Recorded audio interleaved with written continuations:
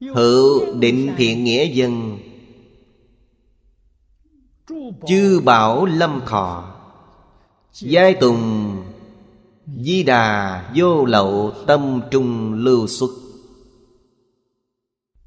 Do Phật tâm thị vô lậu cố Kỳ thọ diệt thị vô lậu giả. Nãi chí diệt vô lão tử giả, Diệt vô tiểu sanh giả. Diệt vô sơ sanh tiệm trưởng giả, Khởi tức đồng thời đốn khởi, Lượng số đẳng tề. Đây là cảnh giới không thể nghĩ bàn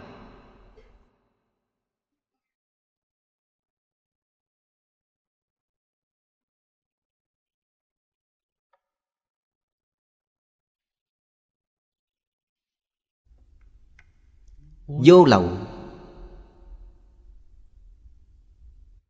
Là A-di-đà Khởi tâm động niệm, Phân biệt chấp trước, Đã buông bỏ hết. Nên gọi là vô lậu. Chấp trước là kiến tư phiền não. Đây là hữu lậu. Phân biệt là trần sa phiền não. Khởi tâm động niệm là vô minh phiền não. Những thứ này đều dùng chữ lậu để tượng trưng. Đức Phật đã đoạn tận hết ba loại đại phiền não này. Nên vô lậu trong tâm hiện ra. Hiện ra này là cảm ứng tự nhiên. Nghĩa là tâm vô lậu chiêu cảm được cảnh giới này. Nên quan cảnh cũng là vô lậu.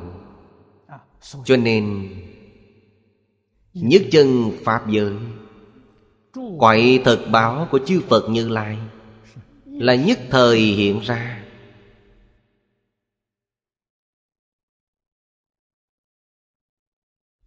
Nhưng vĩnh hằng bất biến.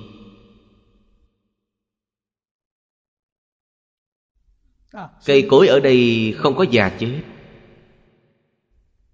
Cũng không có sinh ra. Cây cối ở đây không có hiện tượng từ nhỏ lớn dần lên.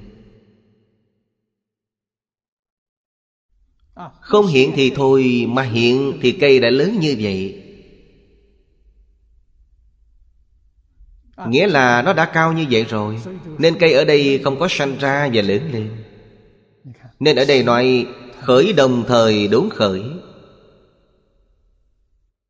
Lượng số đẳng tề, Đây là bình đẳng, Giống nhau. Cây ở đây không phải do con người trồng.